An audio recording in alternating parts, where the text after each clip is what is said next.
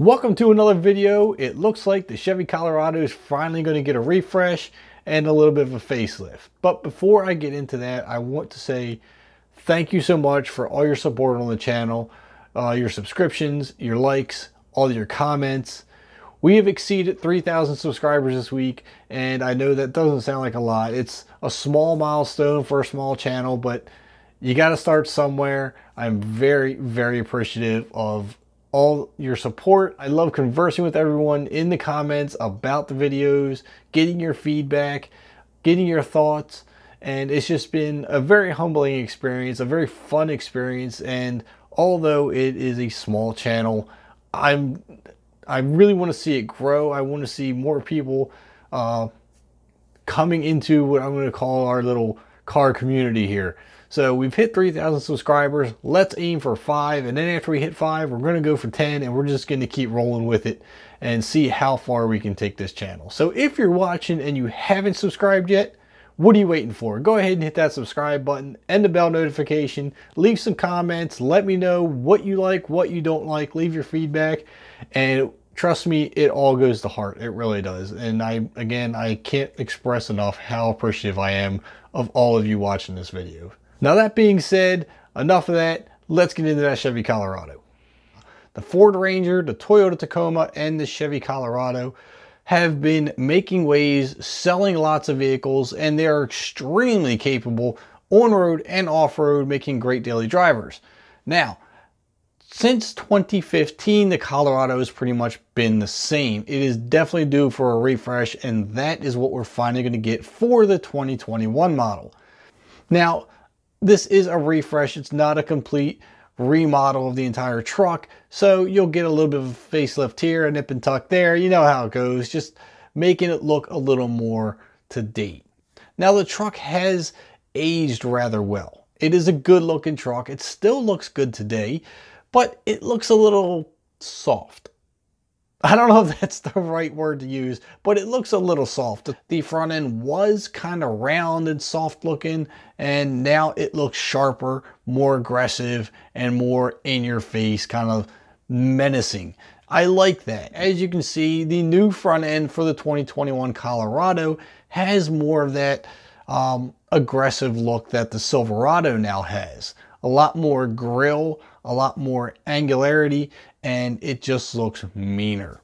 This is the biggest change you're going to see for the Colorado. It looks more military to me. It looks more aggressive. It looks more uh, ready to fight, so to speak. I guess, but I love the new look of it. I like this look on the Colorado more than I like the look on the Silverado.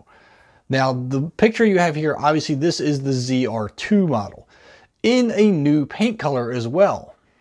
This is a sand dune metallic paint that uh, is available on the Z71 and ZR2 models. I'm not sure why it's only these two models. I guess because they are the off-road specific models, they're going to give you more of an off-road type paint job. Now, I really love the paint job. I think it looks fantastic. I love the combination of that and the black accents, the black on the hood. I love how the black uh, bars come under the headlights it just looks mean, menacing, ready to fight again. Um, great looking vehicle. Now, the other change you're going to see for 2020 is going to be the tailgate. Instead of the bow tie, you're going to get the word Chevrolet written right across the tailgate. Also similar to the Silverado. Now, this model was just debuted the other day at the Method Race Wheels Laughlin Desert Classic. The truck will also be debuted at the SEMA show in Las Vegas.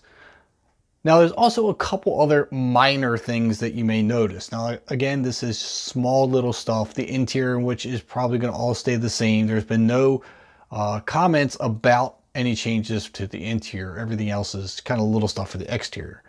Um, speaking of exterior, now the WT, LT, and Z71 Colorados are going to get updated center bars, lower fascias, and front skid plates. The WT and LT trims will still have the golden bow tie logos, although they will be kind of refreshed.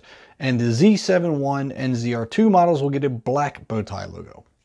Now, again, very small, little intricate little things that they're going to change. Nothing crazy, but they definitely bring the truck to date. They give it a newer look, and I think it's something the truck really needed. The truck never looked bad, but it just looked soft. I know I keep using that word soft and it's kind of like, it's a truck, it's nice, but it's never really aggressive. Um, unless you went to the ZR2 model, which really, really looks good. I absolutely love the ZR2, but the ZR2 is very pricey. Not everyone can afford that one. Um, the Z71 model still looks nice. Uh, you know, you could put a leveling kit on it or something like that and kind of give it a more aggressive stance, but it still had that soft bumper. So this bumper is what's really going to stand out in the crowd and really give that Colorado the aggressive look it really needs. As for the powertrain options, you can get a 2.5 liter four cylinder with 200 horsepower and 191 pound feet of torque.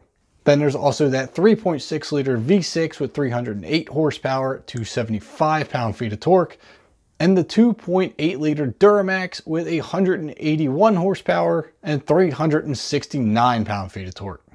Now this will be coming out for the 2021 model, which means you'll probably see it in the last quarter of 2020.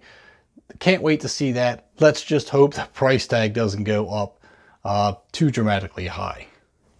All right, now for the bit of mini news. Again, Tesla CEO Elon Musk has lost his mind. I don't know what is going on with this guy, but now we're looking at custom horns for the Tesla models. Now, this is a little crazy. Uh, apparently, he's a big fan of the Monty Python movies and the Holy Grail, and there's a part in the movie where they clank coconuts together to make it sound like horses.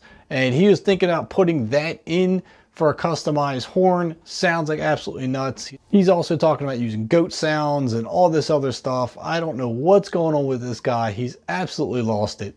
I think it's kind of funny though. Part of the article you read makes it sound like he's somewhat serious.